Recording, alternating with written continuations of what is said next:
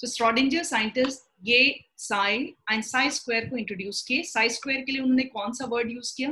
Probability density ठीक है? इसमें इन्होंने क्या बताया? कि ये वेव फ़ंक्शन इंडिकेट करता है क्योंकि आपको हम पहले ही बता चुके हैं कि इलेक्ट्रॉन्स के पोजीशन जो पता चलते हैं, कि इलेक्ट्रॉन यहाँ रहा होगा, किसी ने देखा तो है नहीं। ये जितने भी डॉट्स दिखाए हैं, ये डॉट्स क्या मीन करता है? कि यहाँ यहाँ से वेव्स निकला है।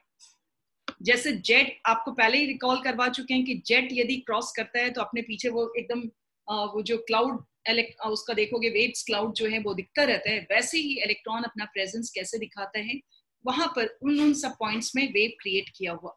ठीक है? उसको हम लोग वेव फ़ंक्शंस करके इंडिकेट करेंगे।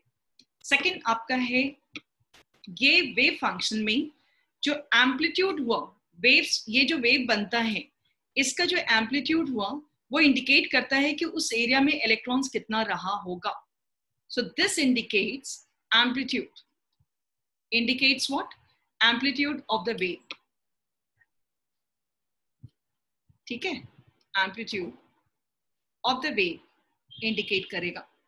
ये जो आपको नज़र आ रहा है amplitude of wave and amplitude of wave आपका इंडिकेट करेगा कि वहाँ पर इलेक्ट्रॉन्स के मिलने की संभावना ज़्यादा है और काफ़ी देर तक इलेक्ट्रॉन्स वहाँ रहा होगा। बेटा।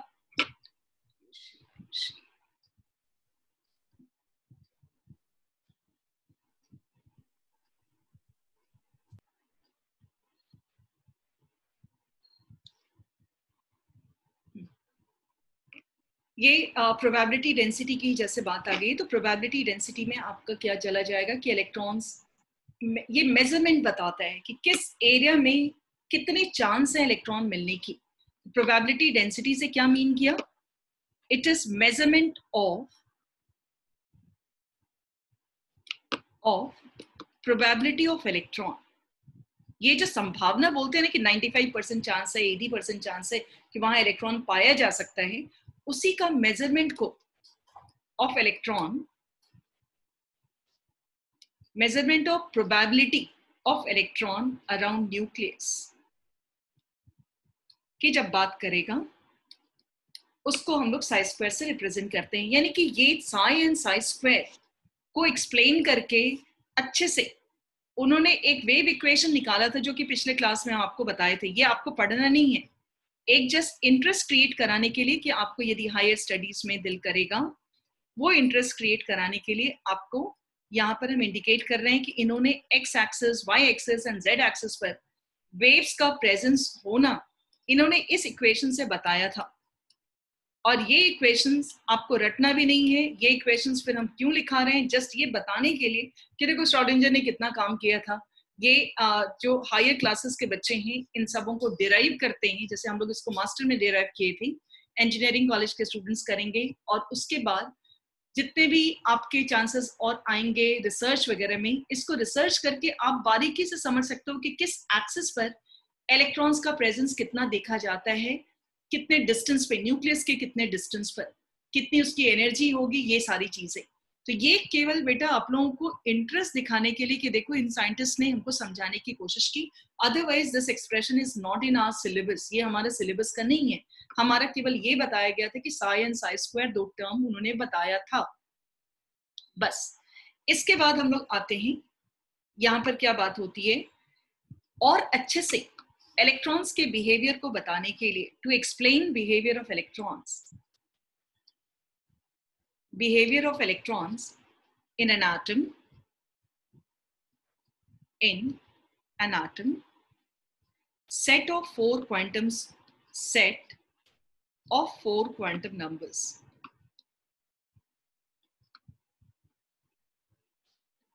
numbers were introduced ठीक है? चार क्वांटम नंबर्स इंट्रोड्यूस किए गए। जो कि आपके इलेक्ट्रॉन्स के बिहेवियर को खूब बढ़िया से समझा देंगे। यशवर्धन कौन है? ठीक है? Four quantum numbers were introduced तो ये जो चार क्वांटम uh, नंबर्स की जब बात आ रही है तो वो चार क्वांटम नंबर्स कौन कौन से हैं? मतलब ये पूरे इलेक्ट्रॉन का होलिया बता देगा अच्छे से। वो है आपका पहला principal quantum number this is principal quantum number. Represented with letter n. किस लेटर से उसको रिप्रेजेंट किया जाता है? एन से. और ये स्पेलिंग देखना पी ए एल है बेटा। पी ए एल का मतलब होता है कि आपका हेड है ये पूरे क्वांटम नंबर्स का बॉस है। फिर उसके बाद आता है as a azimuthal quantum number this is represented by L जरा सा देख लो इसको। यदि लिख सकते हो तो आप लिखिए जिससे कि प्रैक्टिस हो जाएगा। बिहेवियर ऑफ़ इलेक्ट्रॉन्स को एक्सप्लेन करने के लिए ये चार क्वांटम नंबर्स हैं। Azimuthal quantum numbers that is represented by L then we are having magnetic quantum numbers magnetic quantum numbers में दिस इज़ एम ये सब है क्या? धीरे धीरे अभी सब आज हम लोग को समझ में आएगा। Spin quantum number that is represented by S. ठीक है, ये चार की तरफ़ ध्यान दें। एन एल एम एस अब देखो ये लोग हैं क्या? What it explains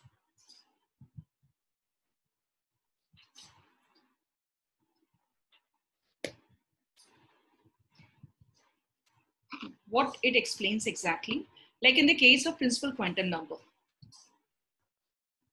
जैसे बात आएगी।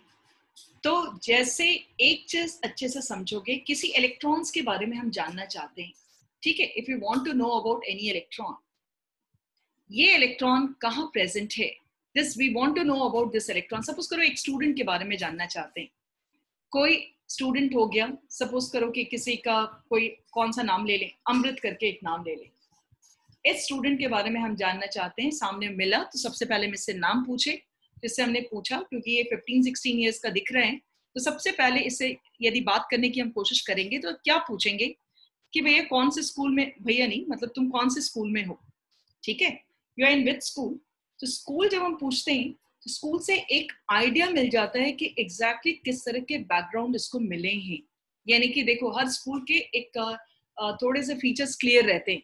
मिशनरीज के अलग हो जाते हैं प्राइवेट स्कूल्स के अलग हो जाते हैं पब्लिक स्कूल्स के अलग हो जाते हैं गवर्नमेंट स्कूल्स के अलग हो जाते हैं सेमी गवर्नमेंट के अलग होते हैं। थोड़े से जो उनके स्कूल का जो इंफ्रास्ट्रक्चर होता है करिकुलम होता है, उसमें फ़र्क आता है। तो स्कूल या आईसीएसई सीबीएसई ये सबसे फ़र्क आता है थोड़ा सा। स्कूल के बारे में आइडिया हो गया। इसके बारे में हम पूरा जानना चाह रहे हैं।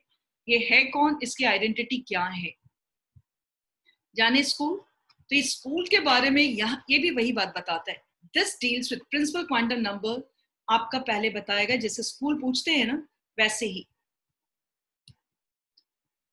फिर इस स्कूल इस वाले स्कूल में जानने के बाद हमको पता है कि हर एक स्कूल में तीन तीन, चार चार हज़ार बच्चे रहते हैं। तो अब हम इसके बारे में पूरे डिटेल जानना चाह रहे हैं तो हम पूछेंगे कौन सी क्लास में पढ़ते हो? ठीक है? क्लास में क्यों पूछे? क्योंकि ढेर सारा क्लास होता है स्कूल में। वन से लेकर के फिफ्टीन तक होता ये ट्वेल्व ट्वेल्व तक होता है।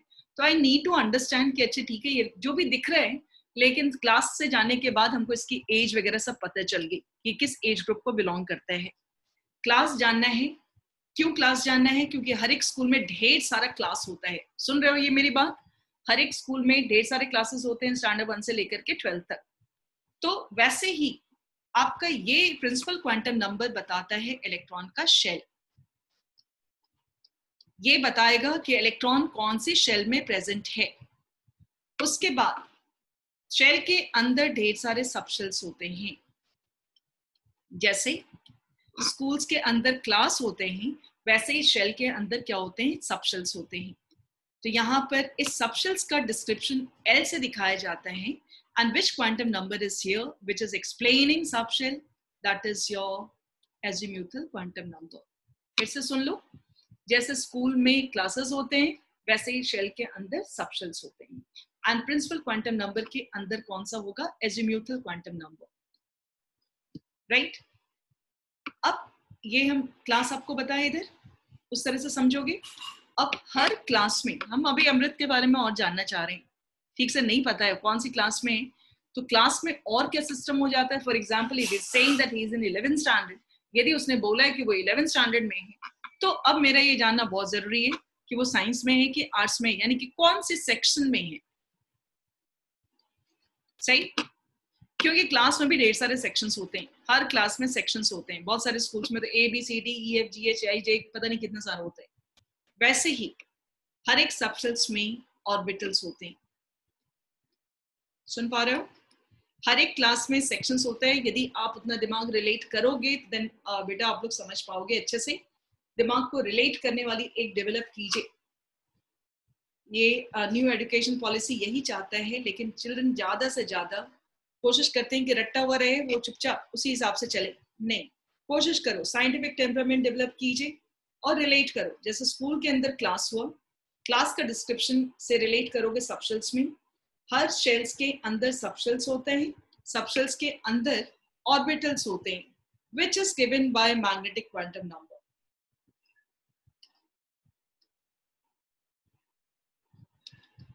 ठीक है? Represented with the letter M कोई परेशानी? बिल्कुल नहीं। तो स्कूल के अंदर क्लास क्लास के अंदर ये सेक्शन ठीक है? अब ऑर्बिटर के अंदर आपका इस बच्चे का रोल नंबर मिल जाए, तब तो उसका पूरा खानदान कहाँ रहता है? क्योंकि डेटाबेस में रोल नंबर से फ़ीड रहता है। दैट इज़ कॉल्ड इस मैग्नेटिक क्वांटम नंबर्स के अंदर इलेक्ट्रॉन्स रहेगा that is called spin quantum number उसको एक्सप्लेन करेगा पूरा डेटा सेक्शंस के अंदर उस बच्चे का प्लेस या रोल नंबर या एडमिशन नंबर समझ आ गई बात? तो हम लोग ये जानना चाहते हैं यहाँ पर कि एक स्कूल में कितने सारे क्लासेस हैं? हर एक क्लास में कितने सेक्शंस हैं? और वो सेक्शंस में कितने स्टूडेंट्स हैं? और वो किस रोल नंबर वाला बच्चा है? वैसे ही आपका ऑर्बिट या शेल हर एटम के अंदर ऑर्बिट्स हैं। हर एक ऑर्बिट के अंदर, बेटा ये ऑर्बिट वाली बात बताए थे, हर ऑर्बिट के अंदर सबशेल्स हैं। कितने सबशेल्स हैं? आपको यहाँ पढ़ना है। हर सबशेल्स के अंदर कितने ऑर्बिटल्स होंगे? कितने? कितने? हर ऑर्बिटल्स में कितने सारे स्पिन होंगे? ये चीज़ों की जानकारी आपको होगी, यदि इतनी जानकारी हो जाएगी तो आपको एटम के बारे में पता चल जाएगा पूरा अच्छे से। पूरा होलिया एटम के बारे में बढ़िया से मालूम हो जाएगा। So we are going to start now with principal quantum number ठीक है? प्रिंसिपल क्वांटम नंबर से हम लोग इसको चेक करने की कोशिश करें। So first thing is what we are moving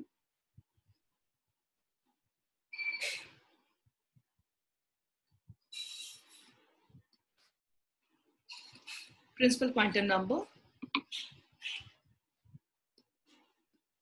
ठीक है? इसके बारे में थोड़ा डिटेल में और समझ लें। This explains orbit number this provides orbit number यदि बोला गया कि n is equal to one ठीक है? तो इलेक्ट्रॉन आपका फ़र्स्ट ऑर्बिट में होगा। क्योंकि हम लोग को इलेक्ट्रॉन एटम को बनाया किसने? Electron proton neutron proton neutron तो पक्का है कि अंदर ही न्यूक्लियस के अंदर है। यदि इलेक्ट्रॉन हम बोल रहे हैं फ़र्स्ट ऑर्बिट में है तो हम लोगों को क्या क्या चीज़ मालूम हो जाएगा? बेटा ऑर्बिट नंबर यदि हमको मालूम हो गया so how much information I can collect about electron यदि हमको पता चला कि इलेक्ट्रॉन यहाँ है थर्ड ऑर्बिट में I got to know that electron is present in the third orbit ठीक है? थर्ड ऑर्बिट में जब प्रेजेंट है तो हम यहाँ से रेडियस निकाल सकते हैं। हम लोग पहले पढ़ चुके हैं। यदि इलेक्ट्रॉन आपका थर्ड ऑर्बिट में है if it is in N is equal to three यानी प्रिंसिपल क्वांटम नंबर थ्री है तो हम क्या क्या चीज़ पता चला हमको? E3 is equal to minus 1312 divided by 9 kilojoule per mole.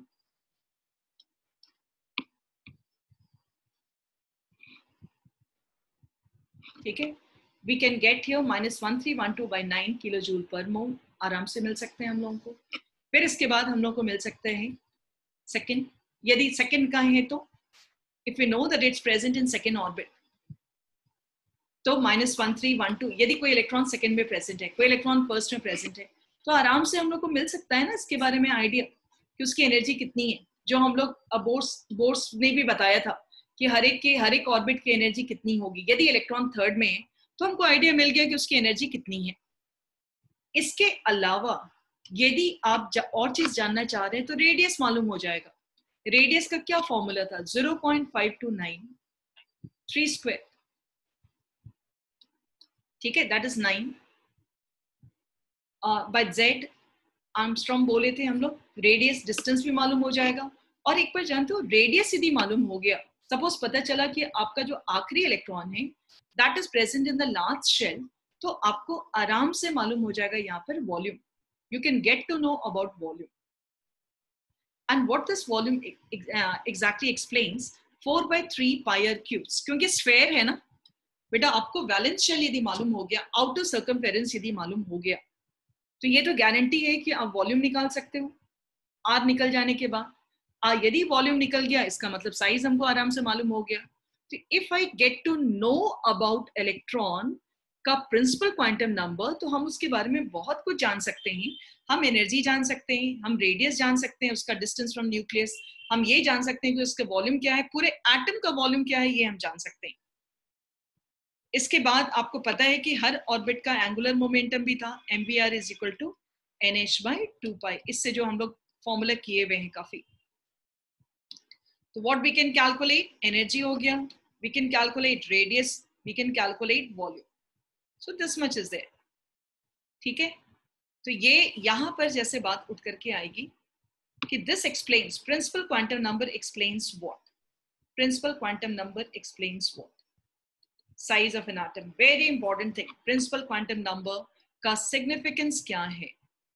Number यदि आपको पता है जैसे हमने क्या बोला बेटा कि आपको किसी स्टूडेंट के बारे में मालूम हो गया कि वो कौन से स्कूल में तो we can get number of information no कि अच्छे वो uh, उसके उसके अप्रोच क्या होंगे उसने वहाँ पर बहुत प्रैक्टिस किया किसी किसी स्कूल में बहुत सारे एक्टिविटीज़ होते हैं कि स्पोर्ट्स में तो अच्छा होगा तो इसमें अच्छा होगा इसमें अच्छा होगा। तो यही चीज़ हम लोगों को यदि प्रिंसिपल क्वांटम नंबर इलेक्ट्रॉन के बारे में मालूम हो गया हम एनर्जी जान सकते हैं हम रेडियस जान सकते हैं हम एंगुलर मोमेंटम जान सकते हैं and finally we can get size of an atom its significance आपसे पूछा जाता है। प्रिंसिपल क्वांटम नंबर का सिग्निफिकेंस क्यों उसे जानने से आपको फ़ायदा? क्या फ़ायदा हुआ? क्योंकि हम तो पहले ही आपको बता दिए इन साइंटिस्ट ने हम लोगों की लाइफ आसान करने के लिए, हम लोग को समझाने के लिए इतनी मेहनत करके सिंपल तरीके से हम लोग को बताने की कोशिश की। वो वाला ग्राफ से तो कुछ भी पल्ले नहीं पड़ता। Significance size of an atom can be explain can be explain ठीक है? बहुत अच्छे से। आराम से इसका एक्सप्लेनेशन हो जाएगा। Significance is going to be like that अब ये प्रिंसिपल क्वांटम नंबर का ये खूब बढ़िया से ध्यान रखना कि इसका ये पूछा जाता है आपके एमसीक्यू वगैरह में कि what is it significance it explain size of an art कैसे पता चला? वॉल्यूम की वजह से। अब हम आ रहे हैं एज सेकेंड वाला quantum number that is azimuthal quantum number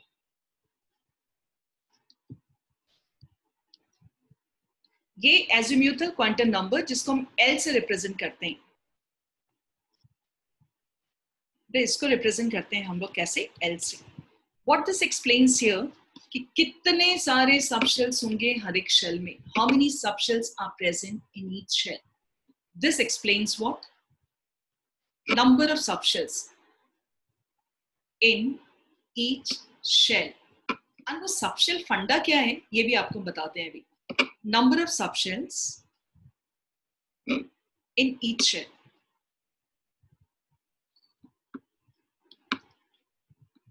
ये बताने की कोशिश की जाती है। अब एक बात जरा सा समझो ऐसे। Number of subshells in each shell की बात कर रहे हैं। तो ए, एक चीज़ जानोगे कि सबशेल्स आखिर है क्या? What exactly subshells what what is like shells के बारे में तो पता है कि वो उतना सारा, उतने एरिया उतने लाइन तक इमेजनरी लाइन तक इलेक्ट्रॉन के मिलने की संभावना ज़्यादा होती है। तो ये तुमको पता है। लेकिन सबशल क्या है? सबशल जानते हो क्या है? क्या होता है? ये न्यूक्लियस के चारों तरफ़ जब इलेक्ट्रॉन जी मूव करते रहते हैं तो इनको बहुत सारे चीज़ों का सामना करना पड़ता है। जैसे इलेक्ट्रॉन मूव कर रहे हैं तो इलेक्ट्रॉन इस न्यूक्लियस के दायरे में रहने की वजह से इसको, इसका अट्रैक्शन भी झेलना है। When electron is moving here इसको क्या क्या चीज़ झेलना है? एक तो इसको स्पिन करनी है। ठीक है? इसके बाद इस अट्रैक्शन से बचाना है अपने आप को, नहीं तो गिर जाएगा। अट्रैक्शन से बचाना है, फिर स्पिन करना है, ठीक है? और स्पिन करके, और आपस में जो और लोग भी इलेक्ट्रॉन्स जो स्पिन कर रहे हैं उसके झगड़े को भी समझना है। Because between electrons will be repulsive forces तुम सोचो कि इस इलेक्ट्रॉन को कितना अपने आप को बैलेंस करके चलना पड़ता है। बैलेंस करके चलना पड़ता है का मतलब क्या हुआ? न्यूक्लियस के जो अट्रैक्शन हैं, उससे अपने आप को बचाना है। फिर उसको एक पेस मेंटेन करना है। पेस मेंटेन करने का मतलब क्या है? कि वो जो रास्ता उसको मिला है, उस पर मेंटेन करके स्पिन करते हुए चलना है। इसके अलावा उसका जो आपस में लड़ाई झगड़ा हो रहा है इलेक्ट्रॉनिक रिपल्सन जो दूसरे इलेक्ट्रॉन से होगा, उससे बचाना है। उतना करने, करते वक्त ना अपने आप को बचाने के लिए देखो, सब सब लोग अपने आप को बचाने की कोशिश करते हैं और उस प्रेशर की वजह से बहुतों का नेचर देखो बहुत लोगों का जो नेचर बहुत लोगों का जो मूवमेंट होता है ना, आसपास के प्रेशर की वजह से जानते हो चेंज हो जाता है। जिसको माहौल कहते हैं हम लोग। एनवायरमेंट की वजह से अलग अलग हो जाता है। वैसे ही यहाँ पर ये इलेक्ट्रॉन्स जो है घूमने वक्त कुछ चंद तो एक सर्टन सर्टन डिज़ाइन में घूमना शुरू कर देता है। अपने आप को बचाने के लिए एक डिज़ाइन बना करके घूमना शुरू कर देता है। डिज़ाइन का तुमको मैं एक एग्ज़ाम्पल देंगी। लट्टू तुम लोगों ने देखा है। हम जब भी, भी इसको पढ़ाते रहते हैं तो हमको वही एग्ज़ाम्पल अपने दिमाग में आती है। साइंस ये कहता है कि आपका दिमाग कहीं से कहीं जाना चाहिए। बेटा कहीं से कहीं उड़ उड़ करके जाना चाहिए और किसी से रिलेट करना। जैसे अभी तुमको हम नारंगी लेकर मौसमी लेकर के बैठ गए। तो आपको किसी भी ऑब्जेक्ट को देखो तो तुम उसको रिलेट कर पाओ कि देखो ऐसा क्या है, नीचे वाला क्या है तो ऐसे कैसे वो मूव कर रहे हैं। उसको रिलेट करने में यदि तुम्हारा दिमाग काम करता है, इसका मतलब कि आपके अंदर वो साइंटिफिक एप्टीट्यूड है और करना चाहते हो। सबके अंदर होता है, बस उसको थोड़ा एक्सपैंड कराना होता है। जैसे इसमें बोला कि लट्टू देखा है लॉ फॉर लट्टू? और तुम्हारा अंग्रेज़ी वाला बेबलेट ये पता नहीं क्या स्पेलिंग बोलते हो? उसके उसके लट्टू के इसमें ये जो नीचे ऐसा शेप है, यदि इसमें आप इंक लगा दो। कुछ बोल रहे हैं बेटा? यहाँ बोल लीजिए आप लोग। कुछ एक्सप्लेन कर सकते हो? लट्टू वट्टू का एक्सपीरियंस हुआ है आप लोगों को तो। तो ये लट्टू जब इस पे इंक लगा दोगे, और इसको ज़ोर से फेंकोगे, रस्सी रस्सी वाला एक होता है एक जो और बच्चों के लिए स्टाइलिश आ गया था, अभी बस ऐसे आपको स्पिन करानी है। बहुत बच्चे लट्टू लेकर के सोना होना होता था मतलब तुम लोगों के टाइम में तो बहुत ज़्यादा होगा, जब when you you people were young तो उसको जब आप फ्लोर पे फेंकोगे या बर्तन में उसको नचाओगे, कुछ थ्री डायमेंशनल बर्तन में नचाओगे तो वो एक सर्टेन डिज़ाइन बना करके नाचेगा। जान तो कुछ ऐसे करके डिज़ाइन बनाएगा। उसके द्वारा जो इंक है ना इंक दिखाएगा कि वो एक डिज़ाइन बना बना के बार बार घूम रहा है। हर लट्टू का अलग अलग डिज़ाइन होगा। तो वो जो डिज़ाइन है, वो इलेक्ट्रॉन भी करता है यही काम। जान तो electron also make certain design design समझ रहे हो? उसके जो, उसके द्वारा जो वेव रिलीज़ किया हुआ, जैसे हम इस पे कह रहे हैं कि इसके द्वारा फुटप्रिंट है इलेक्ट्रॉन के द्वारा रिलीज़ क्या होता है? वेव्स उन वेव्स को, उन वेव्स को कलेक्टिवली यदि हम उसको देखने की कोशिश करेंगे तो वो वही जो डिज़ाइन बन करके आता है, उसको बेटा सबशेल्स बोला जाता है।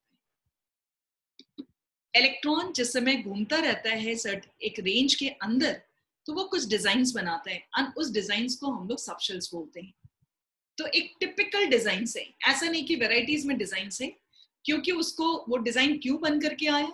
इट हैज़ टू एक्सपीरियंस उसको क्योंकि दो तीन चीज़ को झेलना है। कौन सा चीज़ को झेलना है? एक तो जो कोलम्बिक फोर्सेस ऑफ़ अट्रैक्शन है, यानी कि न्यूक्लियस जो अट्रैक्ट कर रहा है, उसको, उससे बचना है उसको एटम को बचा के रखना है। फिर इलेक्ट्रॉनिक रिपल्सन है, फिर उसके बाद आप आप क्या बोलोगे? स्पिन भी करना है, इतना सारा काम करना है तो नेचुरली वो प्रेस्टराइज होके कुछ एक डिज़ाइन बनाएगा। So those designs are basically, those designs what we are talking, those designs are basically subshells ठीक है? समझ पा रहे हो ये? वो जो डिज़ाइन डिज़ाइन वर्ड हमने यूज़ किया that is basically called subshells clear है? ये ये आप कहीं लिख मत देना। Not is not to be written ये समझने के लिए था। ये समझने के लिए। ये लिखने की ज़रूरत नहीं है। कुछ चीज़ जो है ना टीचर्स का रहता है और स्टूडेंट्स के बीच में रहते हैं। सही? तो ये सबशेल्स आपके डिज़ाइन नहीं तो ऐसे रटाया जाता है शेल्स के अंदर। सबशेल्स होता है। सबशेल्स है क्या? वो घूमने वक्त जो डिज़ाइन बनाता है तो कैसा दिखता है मालूम है? कैसे कैसे डिज़ाइन बनते हैं? एक डिज़ाइन होता है स्फेरिकल जो आपको मुसम्मी अभी दिखाए थे, वैसे ही। वो x axis y axis and z axis में इक्वली डिस्टेंस के साथ घूमता है। इसको स्पेरिकल बोलते हैं। एक डिज़ाइन कैसा हुआ? मतलब बहुत ज़्यादा डिज़ाइन नहीं है, चार ही है। चार ही डिज़ाइन है। एक हो गया स्पेरिकल दूसरा हो जाता है बेटा डम्बल डम्बल डम्बल जो हाथ में उठा करके एक्सरसाइज करने वाला। मतलब कि उसके द्वारा जो रिलीज़ किया हुआ इलेक्ट्रॉन क्लाउड है, वो ऐसे ही दिखता है। डम्बल दिख रहा है आपको? स्फेरिकल का बेटा कोई डायरेक्शन नहीं होता है no direction this has no direction इसका तो तुमको अभी दिख रहा है कि ये ये आपका इस एक्सेस में घूम रहा है डम्बल जैसे ऐसे वाले एक्सेस में घूम रहा है। सो डम्बल हमने बोला। तीसरा है डबल डम्बल ऐसा। और चौथा क्या है? This is first spherical dumbbell and this is your double dumbbell और चौथा जो एक समझ ही नहीं आया साइंटिस्ट को। ऐसा। अब बताओ, इसमें कुछ समझ आ रहा है तुमको? तो जो नहीं समझ में आया, उसको नाम दे दिया गया डिफ्यूज ठीक है? जो नहीं समझ में आया। उनको भी तो समझ में, एक शेप तो समझ में, जैसे इसको देख करके। आप बोलोगे, अरे हाँ स्फेरिकल दिख रहा है। ऐसा वाला चीज़ को देख के लग रहा है कि हाँ डम्बल है। तो ये डिफ्यूज है, ये डबल तो इतने सारे सबशेल्स का पिक्चर दिखा। ज़्यादा तो नहीं है, ठीक है? तो यही अब बताने जा रहे हैं कि हर ऑर्बिट में किस किस तरह के डिज़ाइन होंगे कौन कौन से डिज़ाइन होते हैं, ये एक फॉर्मूला के तहत उन्होंने हम लोग को समझाने की कोशिश की। पहले तो बता दिया कि भाई इतने सारे के डिज़ाइन दिखते हैं। हम लोग आ रहे हैं सबसे पहला। आपका यदि n is equal to one है, ये एजुम्यूटल बताने के लिए कितने सारे सबशल्स होंगे, उसके लिए आपको चाहिए फॉर्मूला यूज़ करना होगा that is from zero to N minus one zero to N minus one ये फॉर्मूला यूज़ करना होगा। To get number of subshells. To get number of subshells in each shell. shell. With number. मतलब उसका mathematical number भी है। हर subshells का number भी है। सुनना ध्यान से। जैसे कहते हैं ना आइडेंटिफिकेशन नंबर रहता है। वैसे हर शेल्स का नंबर भी होगा। सबशेल्स का। सपोज़ करो कि n is equal to one हम बात किए। यानी कि we are talking about for एक ऑर्बिट का। इस ऑर्बिट में कितने डिज़ाइन ऑर्बिट जब हम बोलते हैं ना तो तुम्हारे दिमाग में ये आनी चाहिए कि ये न्यूक्लियस से उसका डिस्टेंस कितना यहाँ से। uh, जो फ़र्स्ट ऑर्बिट का जो फॉर्मूला होता है उस हिसाब से 0.529 point five two nine into one angstrom इतना डिस्टेंस की बात होनी चाहिए। So when n is equal to one L is going to be equal to azimuthal को हम बताए हैं L लेटर से एक्सप्रेस करते हैं zero to N minus one यानी कि ज़ीरो रहेगा। से एन माइनस वन मतलब वन माइनस वन तो ज़ीरो ही रहेगा ना। तो इस ज़ीरो का मतलब ये नहीं है कि इसके पास सबशल नहीं है। इसके पास सबशल है जिसका नंबर है ज़ीरो नंबर होता है ना होल नंबर ज़ीरो है और this is called S subshell spherical वाला। यानी कि फ़र्स्ट ऑर्बिट में फ़र्स्ट ऑर्बिट में एक सबशेल होता है जिसका साइन है वन एस ठीक है first orbit has got one subshell which is named as S subshell second orbit has two subshells. कैसे होगा? L is equal to zero, and this is what? One. Second shell में this is subshells here कितने? Zero से लेके n minus one यानी zero and one इसका नाम क्या है? ज़ीरो पहचान है एस की। ध्यान देना। एंड वन के लिए p so this has two subshells नाम एस एंड पी यानी कि जिस एटम में दो ऑर्बिट है तो सेकेंड ऑर्बिट में कौन कौन सा सबशेल होगा? Two s and two t first में क्या होगा? वन एस समझ रहे हो? नाम क्या है? एस के लिए। ज़ीरो पी के लिए क्या साइन है? वन इसका शेप क्या है? स्फेरिकल पी का क्या है? डम्बल अब हम आते हैं थर्ड शेल तीसरा ऑर्बिट में पहुँच रहे हैं। When n is equal to three so, इस इस ऑर्बिट में कितने सारे सबशेल्स होंगे? उसी फॉर्मूला से हम लोग चलते हैं। L is equal to zero one नाम क्या हुआ इसका? एस पी वन के लिए पी एकदम फिक्स्ड है। इसके लिए क्या रहेगा? D. तो टोटल कितने सबशेल्स हो गए? थ्री सबशेल्स यानी कि आप थर्ड शेल की बात करते हो। If you want to talk about third shells तो थर्ड शेल में कितने सारे subshells three s three s three p three d this is two s two p this is one s देख पा रहे हो इसको? थर्ड शेल में तीन सब सेकेंड शेल में फ़र्स्ट शेल में एस हुआ. सेकेंड शेल में एस पी हुआ. थर्ड शेल में एसपीटी हुआ. समझ आ रही है बहुत अच्छे से? जल्दी बोलो. फोर्थ में क्या होगा? कितने सबशेल्स होंगे? गेस करो. बोलो फोर्थ शेल में कितने सारे सबशेल्स होंगे? Four four four four spd zero one two three zero से लेके एन माइनस वन ये एस पहचान. ठीक है? पी डी एफ़ कितने सबशेल्स हो गए? चार. ठीक है? तो ये बात समझ में आ गई आपको? हर एक सबशेल्स का की अपनी पहचान है? ये बात समझ में आ रहे हैं? अब जरा सा हमको ध्यान से बताना है, एक चीज़ क्वेश्चन आपसे हम पूछ रहे हैं सो दैट थोड़ा सा प्रैक्टिस हो जाएगा आपको। Write down n and l for following expression. Following N and L for followings.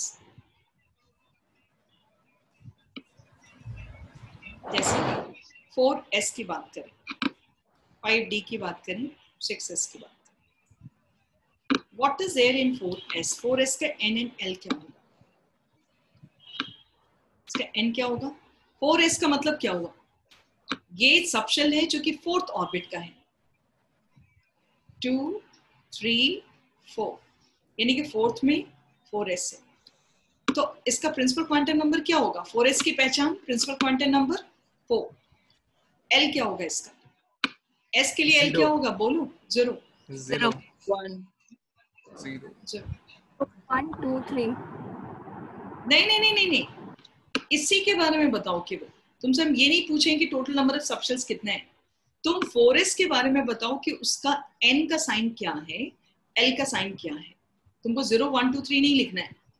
तुमको इस फोर एस के बारे में बात करनी है बस। ठीक है? हम तुम्हारे से फोर पी के बारे में बोलेंगे। तो आप इसका एन क्या बताओगे? फोर एल बताइएगा वन आपने आप ज़ीरो वन टू थ्री नहीं बोलने जा रहे। आपको इसके बारे में बतानी है बस। ठीक है? For and l is going to be equal to one दिमाग आ रही है ये चीज़? मतलब सही समझ आ रही है यहाँ पर? चलिए फाइव डी पर आ जाए हम लोग। फाइव डी क्या बोले? N is equal to five बोलो क्या? एल क्या होगा? टू टू ठीक है? Here six is n is equal to six. Six l is equal to zero zero zero ठीक है? ये बात तो समझ में क्लियर है? ये देखो आपका एक क्वेश्चन फॉर्म करते हैं यहाँ पर कि आपको जब इतने सारे सबशेल्स दिए गए हैं तो आप बताइए कि इसमें प्रिंसिपल क्वांटम नंबर कैसा है एज्यूमेटल क्वांटम नंबर कैसा है? This you need to identify and you have to explain ठीक है? ये क्लियर हो गया? यस अब एक क्वेश्चन और बनता है। बेटा क्वेश्चन ये तो इस तरह के क्वेश्चन आ जाते हैं और क्वेश्चन ये बनते हैं। What is the difference between one s and two s subshells बेटा ये सबशेल्स है। इस दोनों में सिमिलैरिटी क्या है? Both are having spherical similarity यदि पूछोगे मेरे से तो सिमिलैरिटी यही है कि दोनों सबशेल का शेप एक जैसा है। बोथ आर स्फेरिकल ठीक है? But where is the difference and what is the difference difference बताइए क्या होगा? दोनों का साइज़ डिफरेंट होगा। आ, आ, नहीं साइज़ डिफरेंट नहीं डिस्टेंस फ्रॉम न्यूक्लियस आप बोलोगे अलग है। क्या बोलिएगा बेटा? डिस्टेंस फ्रॉम न्यूक्लियस एक वन एस पे बैठा हुआ है एक दूसरा टू एस पे बैठा हुआ है। तो आप क्या बोलिएगा? एनर्जी एनर्जी में भी फ़र्क है? एनर्जी डिफर्स समझ रहे हो? सबसे पहला चीज़ क्या डिफर करेगा? एनर्जी सेकंड रेडियस यानी distance from nucleus that is going to differ बोली बहुत सारी चीज़ angular momentum you can say radius वाली बात तो हो गई है। Angular momentum angular momentum angular momentum differs. Volume size का थोड़ा सा इसके बारे में नहीं कहा जाता ठीक से कहा, जा सकता है। लेकिन ये बोला जा सकता है कि वो बैठा हुआ है सेकंड शेल पे एक बैठा हुआ है फ़र्स्ट शेल पे। सो नेचुरली न्यूक्लियस से दूरी में अंतर है। सेकंड में उससे अंतर है। तो ये सारी चीज़ों का अंतर आपको पता चला। Radius from the nucleus and then angular momentum that difference energy difference ये सारी चीज़ें फ़र्स्ट सेकंड एंड क्लियर है? Yes, नेक्स्ट हम लोग यहाँ पर हाँ नेक्स्ट यहाँ पर हम बात करने की कोशिश कर रहे हैं कि ये आपका एजिम्यूथल क्वांटम नंबर ने सबशेल्स की बात की अच्छे से समझाया। अब आगे आ जाइए इसका सिग्निफिकेंस क्या है? What is it significance now आप जान गए सबशेल्स के बारे में उसका कोई फ़ायदा है? जैसे पहले वाले का साइज़ आपको पता चल जाता है वहाँ पर। सिग्निफिकेंस इसका क्या है? Orbital angular momentum can be calculated orbital मतलब वो जो स्पिन करता है और घूमता है शेप बनाता है, उससे ऑर्बिटल एंगुलर मोमेंटम निकल सकता है। इज़ डिटरमाइन ठीक है? ये वाला। By using formula फॉर्मूला जाएगा अंडर रूट एल का value l plus one h by two pi बाहर है यदि आप बात कर रहे हो एस सबशेल का तो ये ज़ीरो हो जाएगा ऑर्बिटल एंगुलर मोमेंटम क्या होगा? ज़ीरो पी के लिए क्या होगा? पी के लिए if you are going to put it here one तो यहाँ पर उसी तरह से निकालेंगे क्या value under root one one plus one h by two pi करते हुए वैल्यू निकलेगा। डी के लिए accordingly under root two two plus one h by two pi करते हुए। तो इस तरह से हम लोग ऑर्बिटल एंगुलर मोमेंटम वैल्यू निकाल सकते हैं। और इसके बारे में ये और कहा जाता है कि this can explain this explains shape of an orbital shape of an orbital एक आइडिया दे देता है कि इलेक्ट्रॉन्स के मिलने की संभावना जो है ना, जैसे तुम्हारा पूरे स्टेट का एक शेप पता चलता है ना कि स्टेट कैसा दिखता है। यदि ढेर सारे लोग हैं घूमते फिरते रहते हैं और जिस जिस तरह से वो लोग अपना अपना घर बनाए हुए हैं, जहाँ उनका पूरा जंगल, मकान जो भी है, सब मिलाने के बाद जो हर स्टेट का एक जो आउटलाइन दिया जाता है, यहाँ पर भी आपको ऑर्बिटल का, जहाँ इलेक्ट्रॉन्स की संभावना ज़्यादा रहती है, उसका मालूम हो जाता है शेप्स ऑफ़ ऑर्बिटल जो आप बोलिएगा, इस क्वांटम नंबर से मालूम हो जाता है। पता चला ना स्फेरिकल है डम्बल है तो मालूम हुआ ना इस चीज़ से? तो this is this is identified so that is a significance here shapes of orbital can be determined तीसरा हम लोग आते हैं magnetic quantum number quantum number ठीक है? मैग्नेटिक क्वांटम नंबर क्या है? It is indicated by m जैसे तुमको अभी क्या बोले थे हर स्कूल में क्लास होता है और क्लास में सेक्शंस होते हैं। तो आप स्कूल में आ, हर शेल्स के अंदर सबशेल्स बता दिए। अब हर एक सबशेल्स के अंदर ऑर्बिटल्स ढूंढेंगे हम लोग। सोच पा रहे हो? हर एक सबशेल्स के अंदर हम लोग ऑर्बिटल ढूँढने जा रहे हैं खोजने जा रहे हैं जो कि हम लोग को शॉर्डिंजर साइंटिस्ट ने बताया। तो magnetic quantum number what it explains presence of number of orbitals in each subshell of orbitals in each subshells. It explains presence of number of orbitals in each subshell. तो ये जो number of orbitals in each subshell uh, दिया गया है आपको तो यहाँ पर आपको क्या करना है? किस फॉर्मूला से यूज़ करना है? कौन सी फॉर्मूला का यहाँ इस्तेमाल होगा? That has to be taken कौन सी फॉर्मूला जाएगा? वो है formula minus l to plus l ठीक है? Total number of orbitals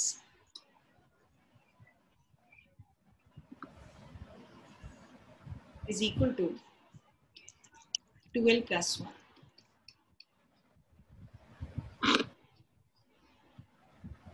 This is minus L2 plus L की बात हुई है. It explains presence of number of orbitals in each subshell. Total number of orbitals आपका जाएगा 12 plus 1. जित कितने सारे orbitals होंगे ये आपको explain करने की कोशिश की जाती है with this formula. अब कैसे पता चलेगा अच्छे से यदि कॉपी पेन आपके पास है प्लीज़ अपने पास कॉपी पेन लेकर के सारे बच्चों को एक रिक्वेस्ट होगा कि कॉपी पेन लेकर के बैठो नहीं तो फिर नींद वगैरह आ जाएगी, आपको क्या सुनते रहिएगा तो। और डबल वर्क करते हो। वीडियो ऑफ़ फिर देख करके डबल वर्क हो जाता है। देखो, सबसे पहला orbit n is equal to one ठीक है? अब फ़र्स्ट ऑर्बिट में आपका सबशेल कौन था? एस था इसमें इस फॉर्मूला के तहत मैग्नेटिक क्वांटम नंबर क्या होगा? Minus zero to plus zero ये भी आपका ज़ीरो होगा। इसका नाम भी हो गया एस इसका मतलब ये हुआ कि आपके फ़र्स्ट ऑर्बिट में एक सबशेल है, जिसका नाम है वन एस इस वन एस के अंदर केवल एक ही ऑर्बिटल है। इसके अंदर केवल एक ही ऑर्बिटल है। ऑर्बिटल बेसिकली क्या कहने की कोशिश कर रहे हैं? जन तो उसका, उस वो मीन करता है ओरिएंटेशन से भी। इट एक्सप्लेन्स ओरिएंटेशन यानी कि वो एक ही, इसका कोई वैसा डायरेक्शन नहीं है और किधर किधर किधर घूमता रहता है, किस किस एक्सेस में जाता रहता है, ये भी बताने की कोशिश की जाती है। तो फ़र्स्ट ऑर्बिट में आपका जो ऑर्बिटल्स है, केवल एक है। ठीक है? हम आते हैं सेकेंड ऑर्बिट में। सेकेंड ऑर्बिट में मेरे पास दो सबशेल्स हैं। कौन कौन से दो सबशेल्स हैं, उसको देखना। एस एंड पी ठीक है? और हर एक में ये फॉर्मूला यूज़ करोगे तो इसके लिए तो एम ज़ीरो हुआ लेकिन पी के लिए एम क्या होगा? जल्दी से बोल जाओ। यदि बोल सकते हो तो बोलो। यहाँ देख के बोलो कि कौन कौन सा होगा sign one zero one. minus minus one zero plus one सोच रहे हो? And they have names also they have name this is your s ठीक है? और पी के साथ, ये जो ये जो तीन ऑर्बिटल्स देख रहे हो ना, इसका भी नाम है। थ्री ऑर्बिटल्स देयर इसको इसको बताने से पहले, थोड़ा सा हम लोग एक चीज़ आपको और समझा दी। क्या होता है कि जब एस ऑर्बिटल है तो एस के साथ क्या है कि it has no directions x axis y axis and z axis इसको देखोगे ना तो तुमको लगे कि तुम ही, तुम्हारी तरफ़ इक्वल डिस्टेंस कवर किया है। स्फेरिकल में। एस एक अकेला रहता है, इसका कोई स्पेसिफिक डायरेक्शन नहीं है। लेकिन, अभी जो हम बताएँगे, आप आ जाओगे पी की तरफ़। Suppose you are coming to p p में क्या होता है? पी सबशल के केस में, जब हम, जैसे पेन ऐसे हम रखें तुम ध्यान से देखना। ये पेन यदि हम ऐसे रखे हैं तो इसका जो डायरेक्शन है ये स्पेसिफाइड है कि आपका लॉन्गिट्यूडनल दिखा रहे हैं और ये इससे अलग है। अलग है कि नहीं? ये बताओ। ये डायरेक्शन क्या देख पा रहे हो हमको? प्लीज़ हाँ ना बोलिए। Yes, Yes. देख पा रहे हो? इसके Yes, है- हाँ इसके डायरेक्शंस जो हैं आपके यहाँ ध्यान से देखना। इसका डायरेक्शन आपका क्लियर है कि ये पेन जो रखा हुआ है ये आपका लॉन्गिट्यूडनल रखा हो गया है और ये इससे अलग है इस डायरेक्शन से। है कि नहीं? इस डायरेक्शन से अलग है। इसका मतलब है कि जब डंबल हम ऐसे पकड़ते हैं डंबल आपको याद है कैसे पकड़ा जाता है? डंबल जब हम ऐसे पकड़ते हैं तो हम डंबल को ऐसे घुमा सकते हैं डंबल को ऐसे घुमा सकते हैं डंबल को ऐसे घुमा सकते हैं। ठीक है? तो जब पी शेप मेंटेन रहता है तो पी शेप के साथ क्या है? वो पी शेप आपका जेड एक्सिस में हो सकता है। अच्छे पहले ही बता चुके हैं कि इसको मैथ्स में एक्स माना जाता है, इस, लेकिन हमारा केमिस्ट्री इसको जेड मानता है। तो इसके लिए कहा जाएगा कि इसका जो पी डंबल का ओरिएंटेशन जेड एक्सिस में दिख रहा है। ऐसे दिखोगे ना, इसका मतलब होता है कि orientation of dumbbell along z axis जो कि बिल्कुल अलग होता है, जब वो एक्स एक्सिस में होता है। इसको इसको आप एक्स या जेड एक्सिस जो भी मानना है वाई मानना है, मान लीजिए। कुछ भी मान सकते हो। एक्स भी मान सकते हो वाई भी मान सकते हो। इसका जेड फिक्स्ड है। इससे 90 डिग्री बनाता हुआ पी एक्स इसका मतलब क्या है कि आपका डंबल एक्स एक्सिस में भी एक्स एक्सिस में दिखेगा जो कि जेड से अलग है। इसको ऐसे माना जाएगा that is towards y y axis में। तो यहाँ पर ये बात बताई गई है कि जब आपका पी डंबल डिज़ाइन जो है, वो डंबल डिज़ाइन एक साथ में, एक बार में तीनों एक्सिस में अलग अलग दिखता है। जैसे एक इलेक्ट्रॉन अभी जेड एक्सिस में घूमा, तुरंत एक्स में जाएगा, तब तक डंबल आपके जेड में बन ही रहा है। तो तब तक जेड में बन ही रहा है इलेक्ट्रॉन आपका एक्स एक्सिस में चला जाएगा। इतना छोटा पार्टिकल है ना। वो वो तुरंत से एक्स की तरफ़ चला गया, वहाँ पर जाकर के वो डंबल डिज़ाइन बनाएगा, तब तक इलेक्ट्रॉन आपका वाई में उड़ के चला गया। उड़ के मतलब घूमते घूमते चला गया। जहाँ जहाँ जाता है वहाँ वहाँ वो डंबल डिज़ाइन बनाता हुआ चला जाता है। So what are we here three dumbbell design are made इसको कहेंगे हम लोग इट शोज़ थ्री ओरिएंटेशंस आप बोलोगे, क्या इनके तीन इलेक्ट्रॉन्स भी यदि रहेगा तो अलग अलग डायरेक्शंस में घूमेगा तो आपस में लड़ाई नहीं होता है. तो ये इसको थ्री ओरिएंटेशंस बोलते हैं डंबल का। Three orientations of dumbbell orientation मतलब झुकाव, घूमता हुआ। इस ओरिएंटेशंस को ही हम लोग स्पेसिफिकली ऑर्बिटल्स बोलते हैं। तो कितने तरह के ऑर्बिटल्स हैं आपके पी सबशेल में? P x p y p z ठीक है? ये चीज़ बताई गई तो इस पे हम लोग ये जो तीन ऑर्बिटल्स दिख रहे हो ना, इसमें नाम है आपका फिक्स्ड ज़ीरो के लिए नाम होगा माइनस वन के लिए नाम होगा प्लस वन के लिए होगा। तो ज़ीरो के लिए आपका चला जाएगा डी पी ये हो जाएगा पी जेड फिक्स होता है। ये जो हम लोग अभी बताए आपको, एक बार फिर से करेंगे। N is equal to two l is equal to zero m is equal to zero इसके लिए एम होगा minus one zero plus one इसके लिए साइन फिक्स कर दिया गया है। That is p z and ये आपका फ्लेक्सिबल हो सकता है। माइनस वन एंड ये फ्लेक्सिबल रहेगा। ये आपका पी एक्स है and this is what p one तो सेकेंड ऑर्बिट में कितने ऑर्बिटल्स फाइनली हुए? एक ये and this is three so total कितने हो गए? Four orbitals four orbitals in second orbit समझ पा रहे हो? इसके थोड़ी प्रैक्टिस होनी चाहिए आपको ठीक से। N is equal to three अब आ जाओ n is equal to three l क्या हो जाएगा? ज़ीरो वन एंड टू इसके लिए एम क्या होगा? ज़ीरो जिसका नाम क्या है? एस में एक ऐसी ऑर्बिटल है, इसमें क्या नाम जाएगा? M minus one zero plus zero के लिए फिक्स्ड है p z p x p one इसके लिए minus two minus one zero plus one plus two इसके लिए फिक्स्ड है।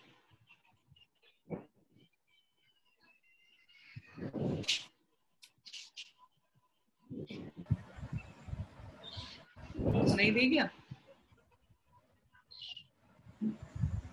minus two minus one zero plus one and plus two ठीक है? यहाँ पर भी फिक्स्ड है।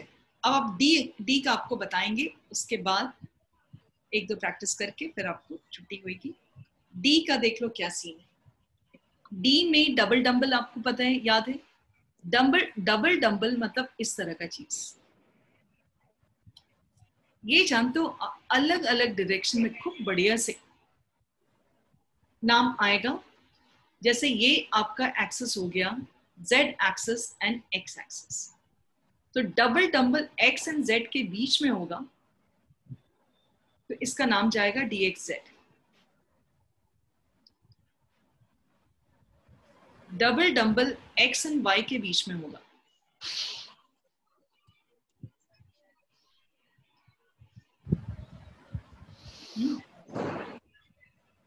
इसका नाम होगा डीएक्स डबल डंबल आपका, जैसे डी एक्स जेड हो गया डी एक्स वाई हो गया then we are having d y z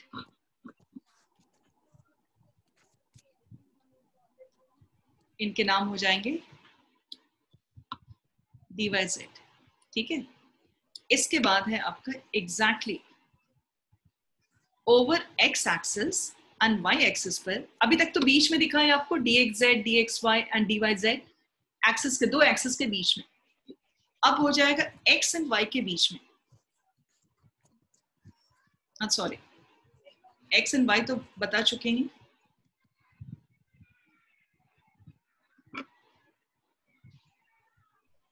exactly x axis पर। आप पूछो कि मैं इसको एक्स क्यों ले लिया है? एक बार में बेटा हम लोग दो ही एक्सेस दिखा सकते हैं, इसकी वजह से। लेकिन तीनों होगा तो वो जेड जाएगा। डिफरेंस नज़र आ रहा है, इसको हम लोग कहते हैं d x square minus y square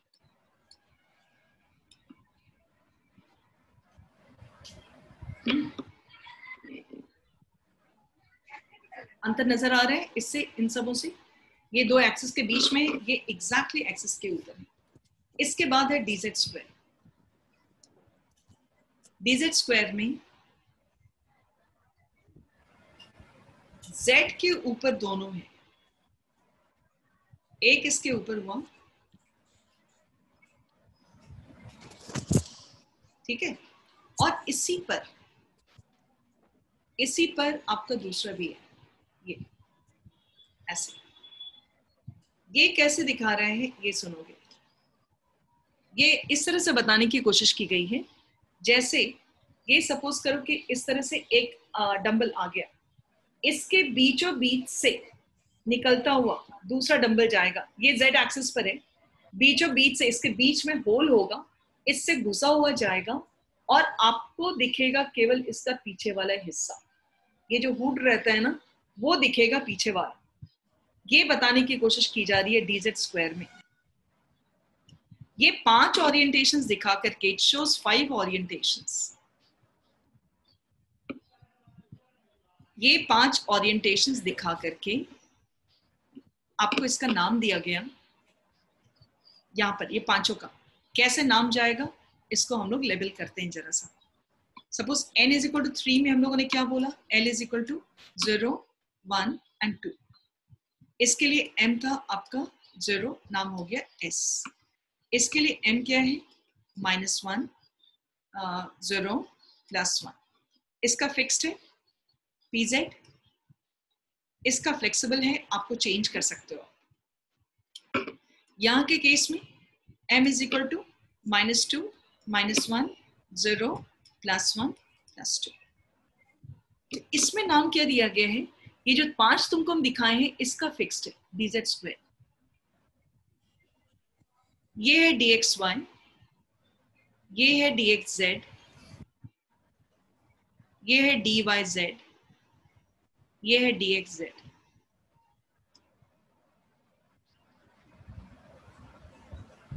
ये फिक्स्ड है dz square so minus two के लिए डी एक्स वाई हुआ, माइनस वन के लिए डी एक्स जेड हुआ, माइनस प्लस वन के लिए डी वाई जेड हुआ, प्लस टू के लिए डी एक्स जेड हुआ।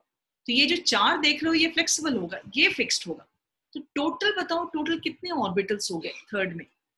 One this is what three this is what five so 5 3 8 and 9 orbitals you will find in n is equal to 3 ठीक है?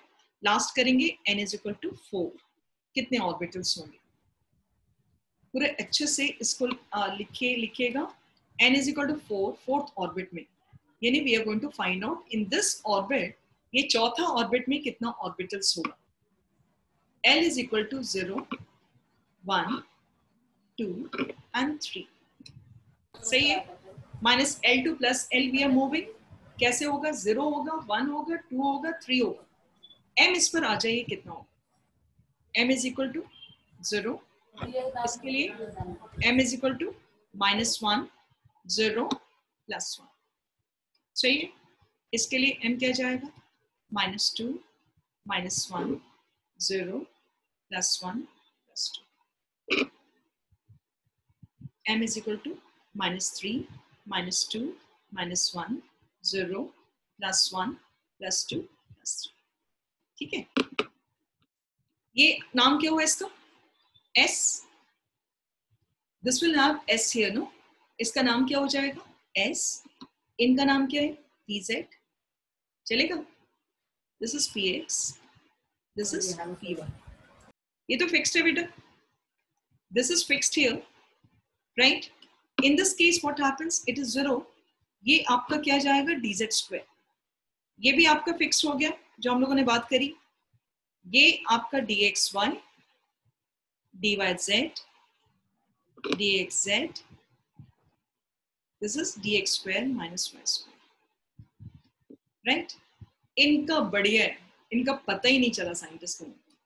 नाम पता ही नहीं चला। उन लोगों ने नाम कुछ दिया ट्राई मारे लेकिन क्लियर नहीं किया। So did you notice here this is one orbital बेटा एस में एस सबशेल में एस सबशेल में कितने ऑर्बिटल हो गए?